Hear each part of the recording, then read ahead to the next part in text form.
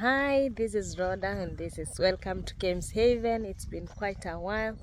I brought my son at the park to play and I thought I'd come in here and chat with you. The sun is so hot, just right in my face, in front of my face. And so as I watch my son play at the back, I can do a tiny little video. I'm trying to get the right position. This is better. Yeah. So actually today I wanted to talk about um, the battle of the tongue. You know, the tongue is such a small tool in our mouth, and the Bible tells us that the power of life and death lies in it. Surely it's quite amazing. Like, how can a small thing in between my teeth hold the power of life and death? But that's the fact. The Bible says that the power of life and death lies in the tongue, and those who love it will eat of its fruit. And so I think it's from that context that the enemy really fights our tongue. There's so much battle that goes on in our tongue. And you find that most of the times you speak things that you didn't want actually to speak, and what you ought not to speak is what you speak. Isn't it amazing?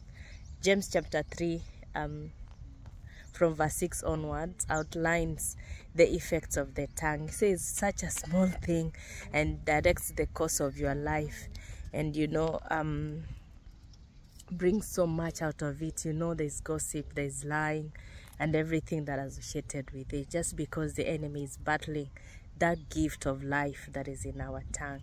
And so my word to you today is to encourage you that you will use your your your, your tongue.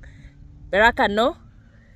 No, you will use your tongue to speak life, you know, to speak powers, to speak health, to speak good things, to speak wealth, to speak victory, to speak dominion over your circumstances and over your situations.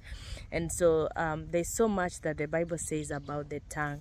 It says that those um, those who, who love it will eat of its fruit, that there cannot be good and bad coming from the same fruit, and yet from our tongue we bring good and bad, we bring lying and we bring blessing. The Bible says that there cannot be blessing and curse from the same tongue. So choose today.